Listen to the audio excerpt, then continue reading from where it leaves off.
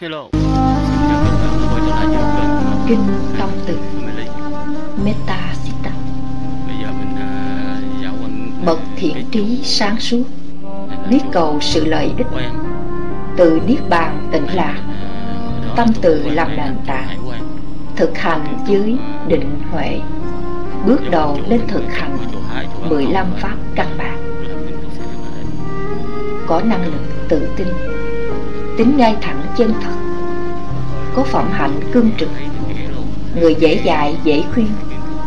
Tâm nhu nhượng hiền lành. Khiêm nhường, không kiêu mạn. Biết tri túc, hài lòng. Người dễ nuôi, dễ sống. Lo ít việc, ít công. Có đời sống nhẹ nhàng. Biết thu thúc lục căn. Có trí tuệ sáng suốt. Thân, khẩu, ý thuần đức không quyến luyến gia đình, không làm mọi điều ác. Rồi hành giả tiến hành, niệm rải tâm từ rằng, cầu mong mọi chúng sanh, thân thường được an lạc, sống bình an vô sự, tâm thanh tịnh trầm tịnh.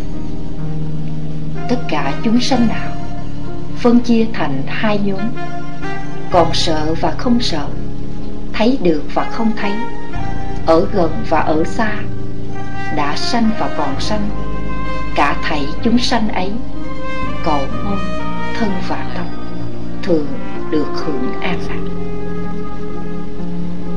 Tất cả chúng sanh nào phân chia thành ba nhóm, có thân hình khác nhau, dài ngắn và trung bình, to, nhỏ và trung bình mập ốm và trung bình thảy chúng sanh ấy.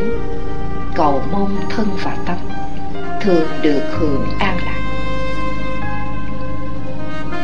Hành giả rải tâm tình, cầu mong mọi chúng sanh không làm khổ lẫn nhau.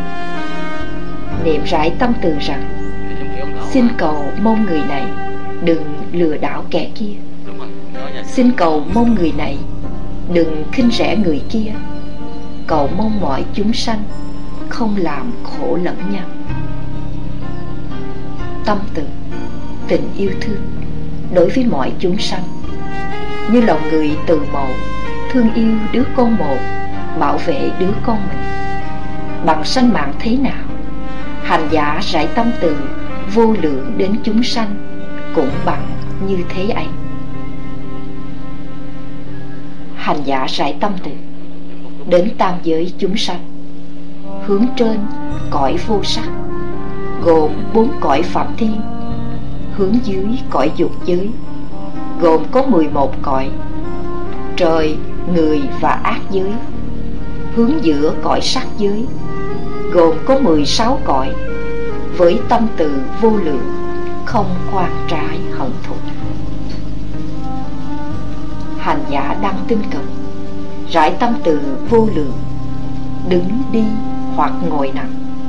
Chánh niệm không buồn ngủ. Tâm an trú trong thiền. Có tâm từ vô lượng. Đức phật dạy bảo rằng, hành giả sống cao thượng, thiền tâm từ nền tảng, kế tiến hành thiền tuệ, diệt tà kiến ngũ quẩn, thành bậc thánh nhập lưu, giới trong sạch thanh tịnh, chứng đắc mật bất lai diệt tham ái ngũ trần, chứng đắc a la hán khi tịch diệt niết bàn, chấm dứt khổ tai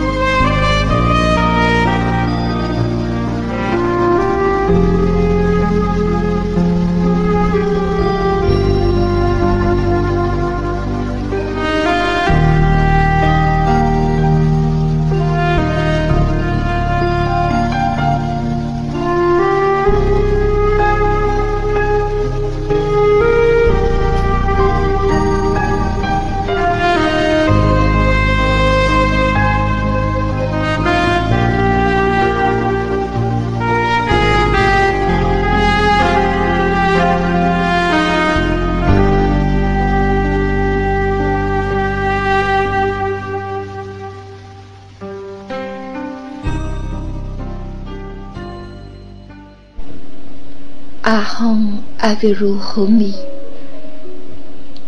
Mong cho tôi không có quan trái với mọi chúng sinh.